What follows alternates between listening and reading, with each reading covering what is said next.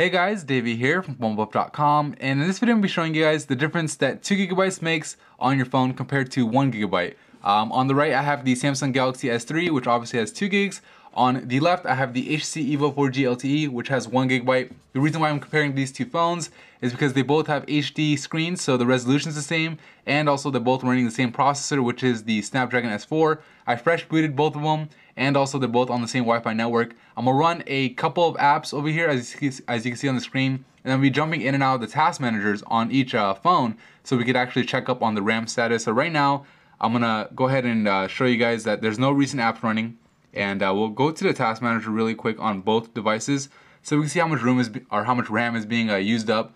On the Galaxy S3, 522 megabytes is being used up. On the Evo 4G LTE, only 466 megabytes of RAM is being used up. So a little bit different, but we'll go ahead and run the test anyway. You know, I can't really control how much uh, RAM is going to be used up when the uh, device first starts up. So anyway, let's go ahead and start running the applications. So I'll do dictionary, go back, and then we'll do Google Earth. And you can see the speed is about the same, and you know that's expected considering they're running the same processor. And we'll do the fourth app and hit home. Now let's go ahead and check in on our task manager again. So we'll go to task manager on here, task manager on here, and now it's using 575 megabytes, 506 megabytes. So using a little bit more RAM now on both devices. Go ahead and continue. Let's go to maps. Let's go to messaging. Let's go to gallery. Let's go to Gmail. And again, let's check on the RAM. So Task Manager and Task Manager, we're using 543 megabytes, 635 megabytes. Now let's go back and let's go to Flixster. Let's go to Score Center.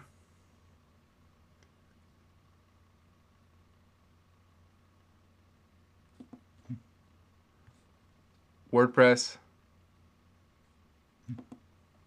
and Chrome. Whoops.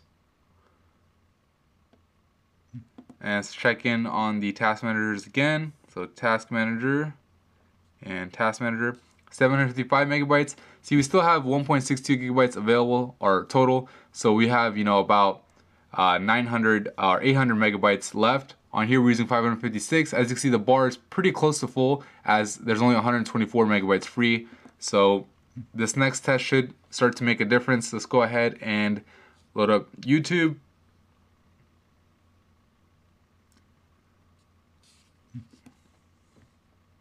Calculator on each phone. Color note. And then the cameras. Okay, so hopefully that has a lot of apps running in the background. Hopefully this will make a difference. Let's go ahead and go to the task manager again. 805 megabytes being used. Um, now you can see there's 516 megabytes being used on the Evo. There's 164 megabytes left. So it kind of gives you the idea that it actually probably closed out one of these applications in the background. Um, let's see if we could actually tell which application uh, was closed out. Um, I don't see the camera running over here and uh, a couple of apps. But anyway, let's go ahead and do the test now. Again, running through all the apps and let's see if there's going to be a speed difference now, considering that we expect there to be more apps open up on the Galaxy S3. So again, dictionary, Earth. So they both uh, kind of reloaded Earth, but it was faster on the Galaxy S3. File Explorer, Gymrat, so you can see this one opened it up again. This one had it open in the background. Let's go to maps. It's already open. This one had to reload it. Let's go to messaging. About the same there. Gallery. Gmail.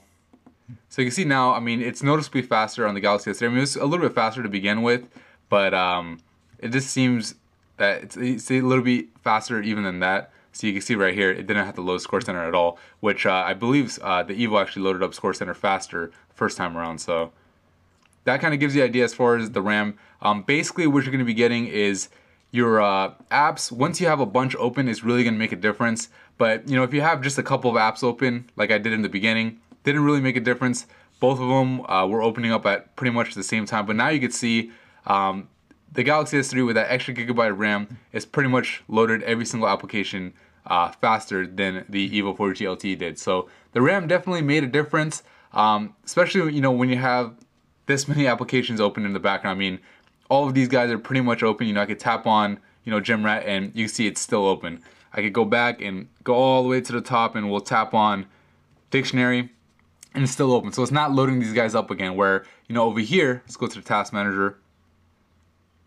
And you can see it's 158 megabytes free. Um, let's go ahead and try to go to I mean, these are the, the, apps are open. You can see all of them aren't there. I mean, it's only what Score Center, um, Google Maps, calculators open, color notes, WordPress, messages, and YouTube. But all the other ones are pretty much closed out. So you know, if I were to go to dictionary again, like I said, it's gonna load up much faster on here. So anyway, um, that's the difference. You know, it's not that big of a deal, honestly, in the long run. I mean, um, you know, both phones are super fast. The 1.5 gigahertz Snapdragon processor does a great job at opening up applications. Android ice cream sandwiches optimization, especially when Jelly Bean comes around on both of these devices. Both are to be super fast, but you know what? Uh, the 2 gigabytes is to give you a faster experience, mainly due to the fact, especially when you have a lot of applications open, that those applications can be opened up in the background, and when you tap on them, it's to be already open, so there's to be nothing to load. Therefore, you're to have a faster experience, not necessarily faster speed as far as processors go. But anyway, that's it for me in this video. If you found it helpful, please hit the like button. It helps me out a lot. And subscribe to the channel. Thank you.